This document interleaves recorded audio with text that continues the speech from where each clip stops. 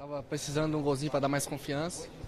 É, mas nossa equipe foi muito bem hoje, né? Isso é, ajudou muito né, para que eu possa fazer o gol.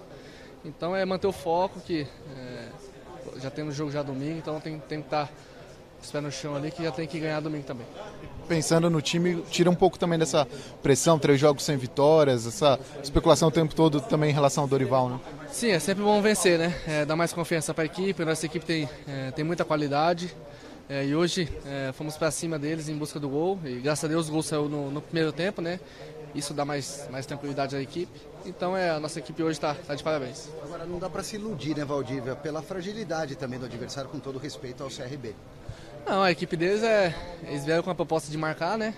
Mas como eu falei, quando o gol sai no começo assim, é, dificilmente eles seguram, né? Então é.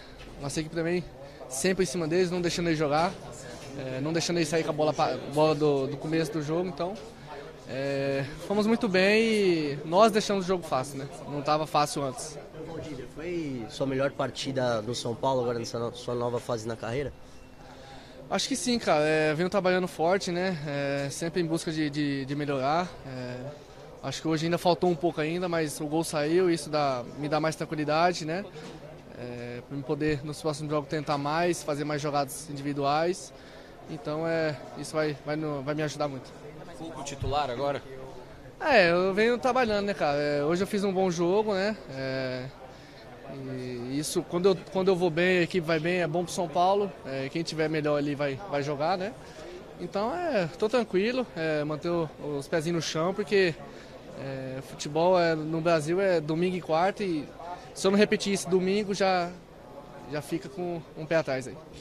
Você, na sua apresentação, você foi bem honesto, né? Você falou, ah, eu sei que eu não vou chegar para ser titular. Mas agora, com que você vem apresentando, torcida gostando do seu desempenho, não, não vou perguntar se você vai ser o titular, mas você está pronto para ser o titular? Estou pronto sim, né? É, como eu falei, venho trabalhando todo dia aí, é, me dedicando. É, e o que eu joguei hoje eu ainda posso fazer mais do que eu, que eu fiz hoje.